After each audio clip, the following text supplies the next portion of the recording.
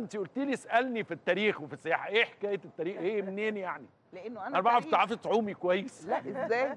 أنا خريجة آداب تاريخ وعاملة ماجستير ودراسات آه، عليا في آه،. التاريخ الفرعوني القديم. يعني دي شغلتي دي دي حياتي الأساسية. آه، فأنت النهارده لما كنت في مدائن صالح وبتتفرجي على عارفة الأنباط كل و...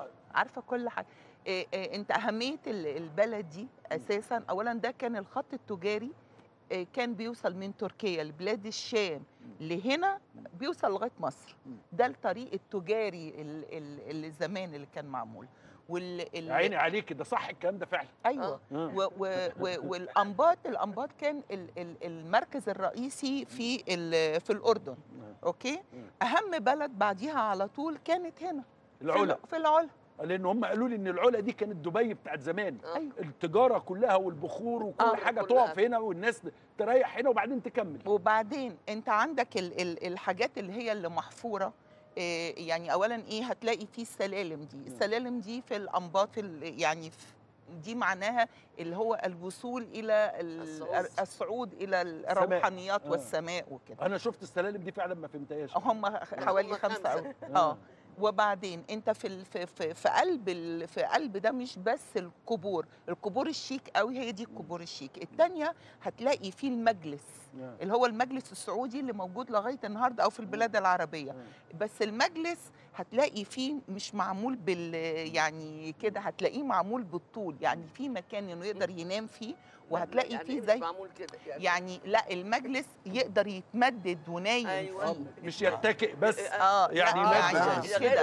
ده بس مش المجلس بالنسبة لي أنا طول ده معلومات. تاريخية يا جماعة استنوا بس انتوا- في أنتوا حاجة- حقدتوا على الست أول ما ابتدت تتكلم في التاريخ. بتتكلم في حاجات فاهمها عننا أهم حاجة يا عمرو إن هو لسه منطقة بكري جدا ولسه ما, ما تمش اكتشافها. يعني أنت لو عليك. مسكت الرمل آه. أنت لو مسكت الرمل اللي هو في الحتة اللي فيها الدفنة مؤكد في حاجة تحتيها لأنك لو مسكت الرمل هتلاقي فيه زي شعر زي شعر. لو مسكت الرمل بره هتلاقيه ناعم جدا.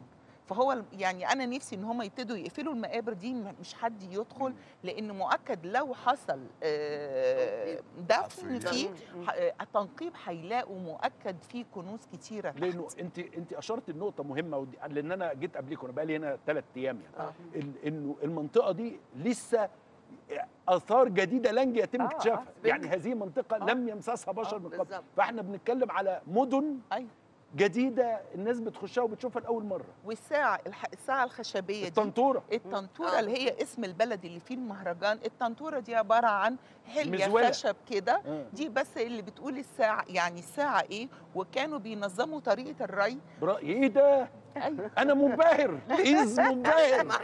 إيه ده؟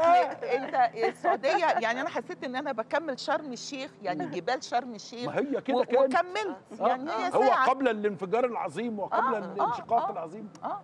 فالطنطوره دي كانت مهمة جدا وكانوا كلهم بيجتمعوا علشان يشوفوا كمان موسم الري والزراعة كل واحد كل واحد ال 40 زي- يوم والحاجات دي. المزولة بتاعت الكلام فدي منطقة مهمة جدا ومنطقة تاريخية جدا وأنا سعيدة جدا إن هم بدأوا يفكروا خارج الصندوق إنه في استثمارات من المناطق الدينية وفي استثمارات من البترول لكن السياحة هو حق حقنا عليهم التاريخ لأنه ده تاريخ حق الولاد البلد إن هم يعرفوا تاريخهم إيه.